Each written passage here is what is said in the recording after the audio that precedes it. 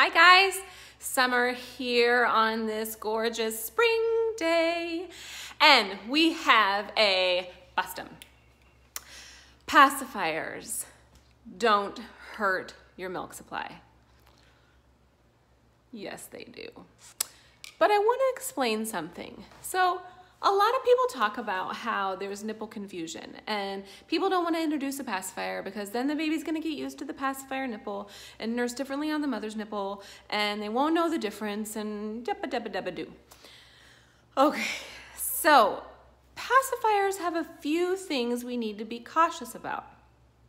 Number one, they take the baby away from the breast where the baby should be to stimulate milk production.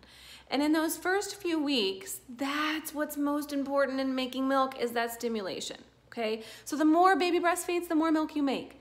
The more time they spend on the pacifier, the less milk you'll make.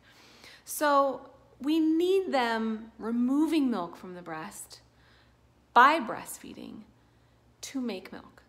If they're spending time on the pacifier, they're burning calories. That doesn't help them poop. That doesn't help them pee.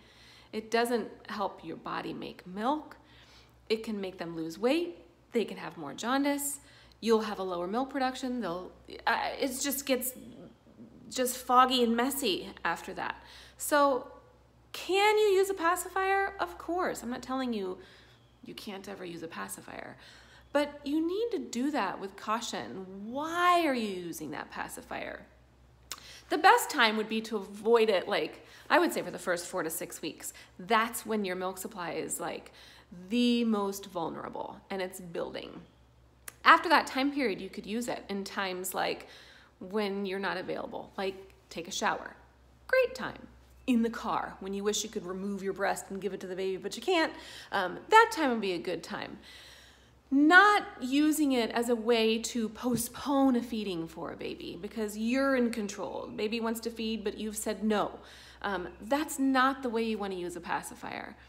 And definitely not in those initial weeks because if the baby's showing a sign that they're interested in breastfeeding, if they're cueing, they're licking, smacking, uh, you know, looking for a nipple, they need your nipple because they need to take the milk out to get the milk, but to stimulate your milk production.